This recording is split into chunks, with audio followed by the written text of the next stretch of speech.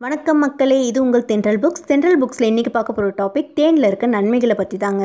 தேனில் எண்பது சதவீதம் சர்க்கரையும் இருபது சதவீதம் நீரும் இருக்குங்க. ஒரு டேபிள் ஸ்பூன் தேனில் அறுபத்தி நாலு கலோரிகள் இருக்குங்க.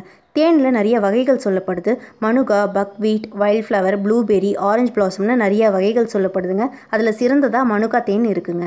தேனில் இருக்க நன்மைகளை பார்க்கலாம் வாங்க. தினமும் காலையில் சுடுதண்ணில் கலந்து தேனை எடுத்துக்கிறனால உடலில் சேர்கிற கெட்ட கொழுப்பை நீக்கி உடல் எடையும் குறைக்குங்க.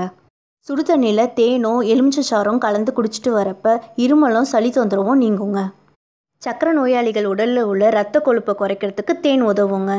தேன் உடலில் நல்ல கொழுப்பின் அளவை அதிகரிக்கவும் எலும்புகளின் அடர்த்தியை அதிகரிக்கவும் உதவுதுங்க. தேனை தினமும் தேவையான அளவு உணவில் சேர்த்துக்கிறப்ப நோய் எதிர்ப்பு சக்தியை அதிகரிக்குங்க. உடலில் கால்சியம் சத்தை அப்சர்வ் பண்ணுறதுக்கு உதவுங்க. தேன் உதடு வெடிப்புக்கும் முகப்பரு முக சுருக்கம் வறண்ட சருமம் இதெல்லாம் சரி பண்ணுறதுக்கு உதவுங்க. ஆஸ்துமாவால் ஏற்படுற இருமல் மூச்சு திணறலை குணப்படுத்த தேன் உதவுதுங்க.